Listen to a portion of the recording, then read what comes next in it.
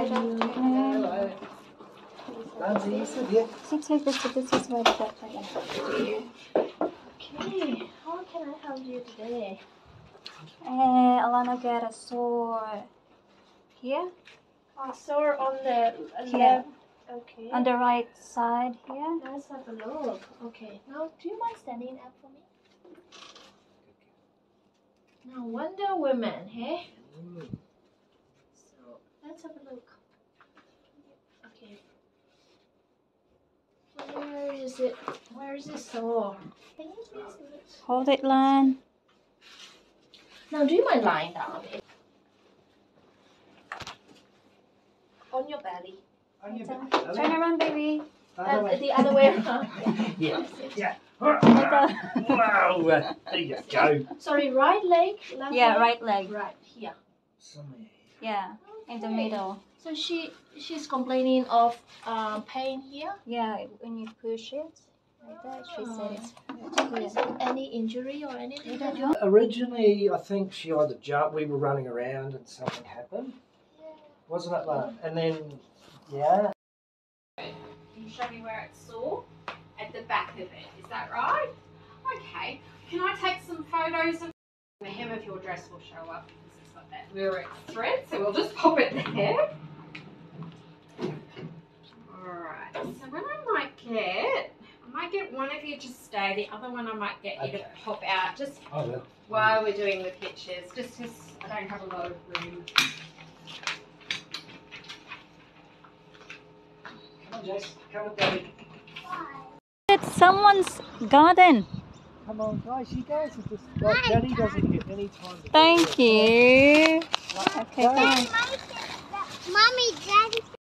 So, ang ano dito guys is possibly na may injury sa right popliteal fossa niya.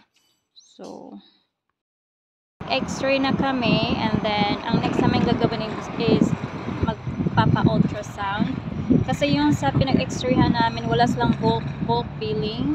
So, kasi pag walang bulk billing, ang babayaran mo is nasa 199. So guys, um, today, pupunta kami ng clinic today para i-check yung legs ni Alana and then pupunta kami ng shop. Sa ngayon, dinala muna namin siya sa park para mag-bike ride. Grabing init. Here's Alana.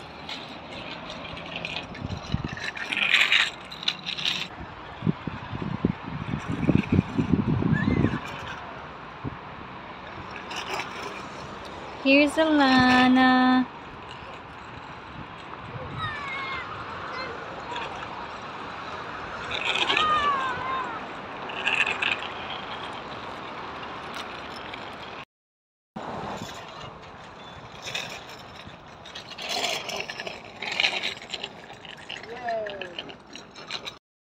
Kami guys para mag-lunch. Tapos ngayon, babalik na naman kami kasi yung appointment is 12.10. So, mauwi lang kami para mag-lunch and then, ayun, rush na naman kami, alis na naman. Dito kami papunta.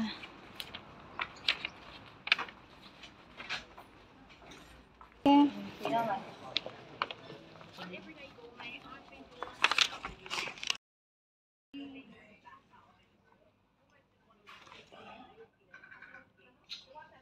Yeah, it's a quick one.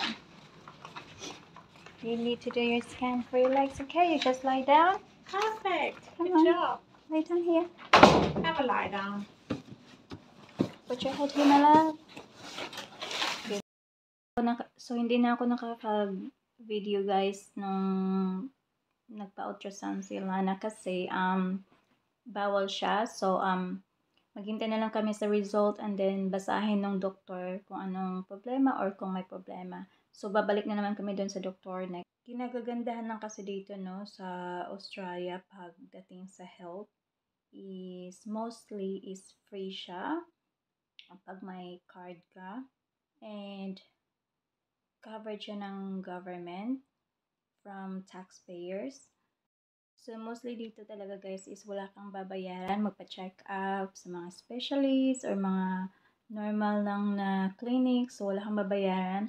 And then, pagdating sa mga test, like blood test, scans, like x-ray, ayun, libre siya dito. Kung magpapacheck ka rin ng mata, wala rin babayaran. And ano pa? So, pero ang kailangan mong gawin is maghahanap ka ng mga bulk, bulk billing na clinics or public na hospitals kasi yun lang yung covered ng mga government.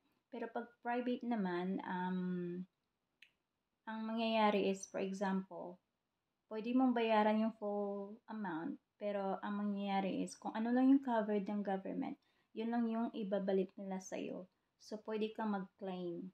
So, um, example, 100% example, 50 yung ibabalik sa'yo ng government. Tapos yung 50 naman, yun yung binayad mo sa total bill mo. And then, an ang ano naman, yung hindi covered ng yung tinatawag ng Medicard. Ang hindi naman covered dun is yung um, ambulance, hindi yun covered nila. So, ikaw yung magbabayad. And glasses, kung magpapacheck up ka ng eyes mo, libre sa Optime, uh, oo. And then, pero pag ano, hindi siya libre. Glasses, so glasses, contact lenses, hindi pwede. Cosmetic surgery, hindi hindi siya libre. So, ikaw yung mag-ano noon. Sa child naman, um, libre, sa, so sa adult is, hindi libre yung mga dental services, right? Pero, pag eligible ka sa, halimbawa, health card, kailangan may healthcare card ka para free ka sa public dental services. And mahal ang magpa-dental services dito, guys. And sa child naman guys, libre yung dental services nila from 0 to 17 years old. And like magpabunot, magpalinis, magpa-filling, ayun libre yun siya. X-ray, ano pa ba? Mga ganun, basta lahat ng ano, lahat ng gagawin sa ngipin sa mga bata, yes, libre siya. Meron din silang scheme dito guys na kapag eligible ka is pwedeng magiging free yung eyeglasses mo. So, yeah, pwede siya. So, pwede kang apply if eligible ka and then bigyan ka na ng free glasses. And then, ano pa ba? So, I think that's it. So, kailangan mo lang pang magpa-check up ka, etc. Kailangan mo lang piliin yung bulk billing. And then, if private naman, is pwede mong bayaran full payment.